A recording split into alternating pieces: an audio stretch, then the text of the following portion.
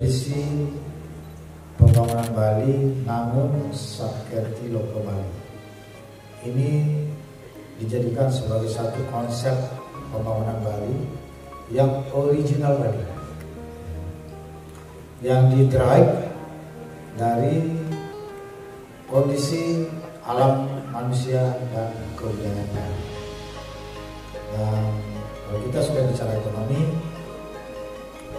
tentu saja akan terkait dengan banyak aspek. Satu aspek penting di antaranya adalah peran perbankan. Termasuk di dalamnya juga adalah BPR. Konsep yang saya sampaikan ini adalah yaitu konsep ekonomi yang dinamakan dengan ekonomi Kerti Bali. Ekonomi Kerti Bali ini itu dikembangkan dengan 11 prinsip.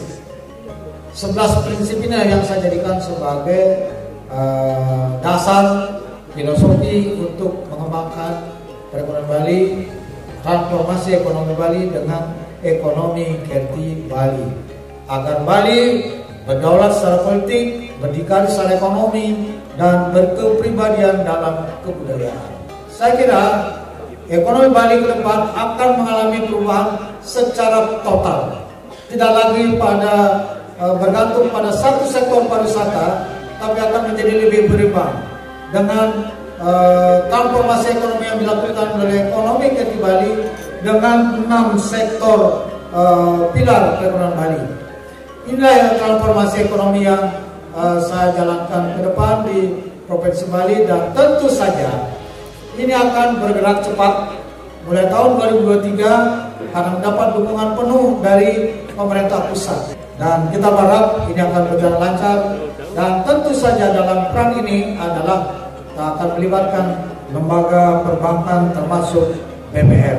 Ini yang kita harapkan ke depan sehingga BPR dari sekarang melihat bagaimana arah gerakan ekonomi Bali ke depan. Sehingga dengan demikian harus memikirkan bagaimana bisnisnya yang harus dijalankan di masa-masa akan datang yang suasananya akan sangat berbeda jauh dengan suasana sebelum adanya pandemi COVID-19. Saya kira ini adalah merupakan kesempatan yang sangat baik untuk memulai langkah baru, merumuskan gagasan-gagasan uh, serta juga upaya-upaya konkret kita bersama untuk memajukan pembangunan di Bali termasuk juga lembaga uh, keuangan yang ada di Bali ini. Satu kebanggaan dan kedekatan dan kita semua itu bisa menjadi saksi proses yang luar biasa ini. Pak Gubernur silakan saya dapat informasi bahwa Pak Gubernur sudah